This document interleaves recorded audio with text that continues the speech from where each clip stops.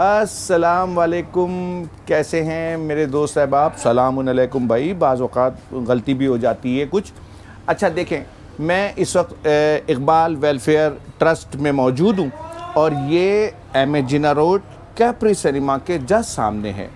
अच्छा यहाँ पर आज क्योंकि संडे का दिन है और ये बाज़ार बंद भी है, लेकिन फिर भी इकबाल साहब के पास हम तशरीफ़ लाए और उन्होंने हमारी बहुत ही अच्छी हौसला अफजाई की है।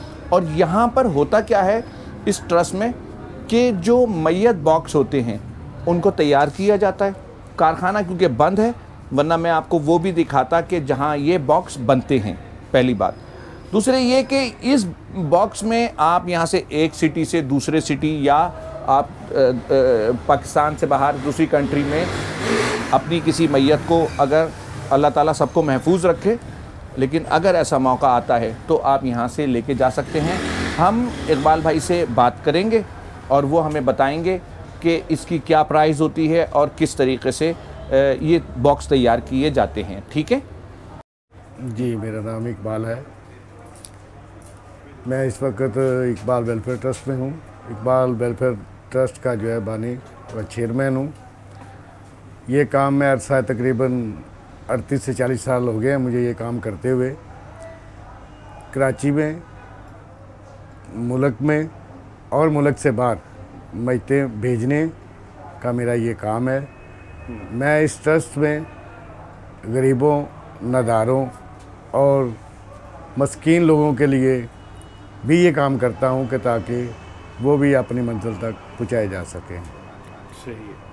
अच्छा इकबाल ये बताइएगा ये जो बॉक्स रखे हुए हैं मैयत बॉक्स जो हैं जी। इसके क्या प्राइस होते हैं? अगर कोई आके इमरजेंसी में आपसे कॉल करता है और आपसे बात करता है और कहता है कि ये बॉक्स हमें चाहिए हमें अपनी मैयत को इराक ईरान अमेरिका कनाडा जहाँ दिल करे वो लेके जा सकता है। तो आ, उसके क्या प्राइस होते हैं?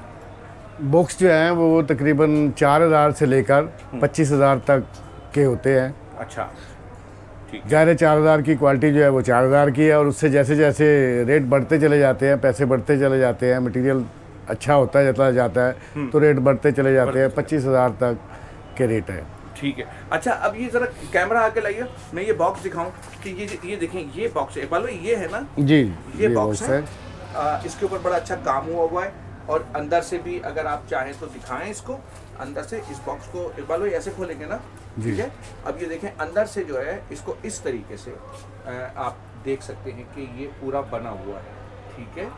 अंदर से ये बॉक्स बना हुआ है और ये इसके ऊपर काम हुआ हुआ है और इसको जो है आप यहाँ से पाकिस्तान से या कराची से बाहर भी लेके जा सकते हैं ठीक है? तो इकबाल भाई ये बहरहाल इसके अलावा भी बॉक्स जैसे कि आपने बताया। कि तैयार होते हैं। जी। ठीक है? इसके अलावा तो, भी बॉक्स तैयार होते हैं। हाँ तो वो जो है अच्छा रहता है वैसे तो ये। सही है अच्छा हम अच्छी जगह पर आ गए और बहुत खुशी हुई आपसे मिलकर। आप क्योंकि एक बहुत अच्छा काम कर रहे हैं समाज के हवाले से भी और आप गरीबों के हवाले से भी कि आप उनकी इमदाद या जो भी बन पड़ता है वो आप काम करते हैं। हम्म, जो मुझे मालूम हुआ अभी भाई ने मुझे बताया था बाहर तो मैंने कहा चलें ठीक है ये तो अच्छी बात है। तो बहुत बहुत शुक्रिया आपका।